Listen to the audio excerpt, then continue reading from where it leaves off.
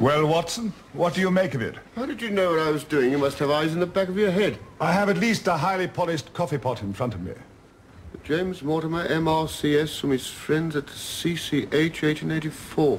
Since we were out when the owner of that stick called last night, and since we have no notion of his errand, this accidental souvenir becomes of importance. You've examined it. Let me hear you reconstruct the man.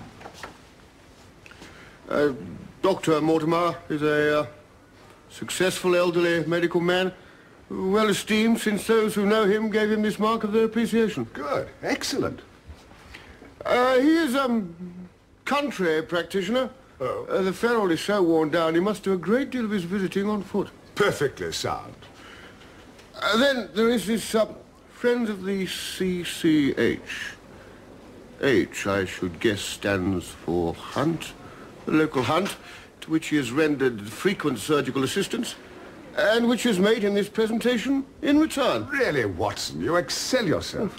Some people without genius have a remarkable power for stimulating it.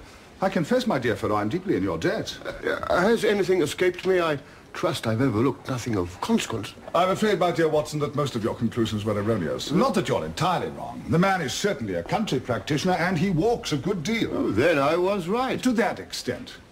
But I suggest that a presentation to a doctor is more likely to come from a hospital than a hunt, and that when one notes the CC before the H, Charing Cross Hospital very naturally comes to mind. Uh, you may be right. Uh, what uh, further inferences may we draw? You know my methods. Apply them. Well, he obviously practiced in town before going to the country. And received this presentation on leaving. He couldn't have been on the staff of the hospital since a man so well established wouldn't drift into the country. He could only have been a junior. And he left five years ago. The date's on the stick.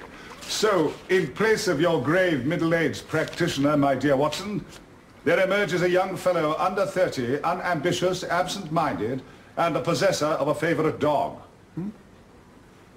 Oh, uh, Mortimer James, MRCS, Grimpen, Dartmoor, Devon, House Surgeon 8284, Charing Cross Hospital.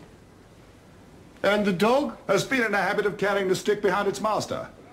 The dog's jaw, is seen in the space between the tooth marks, is too broad, in my opinion, for a terrier, and not broad enough for a mastiff. It may be... Yes, it is. A curly-haired spaniel. Oh, my dear fellow.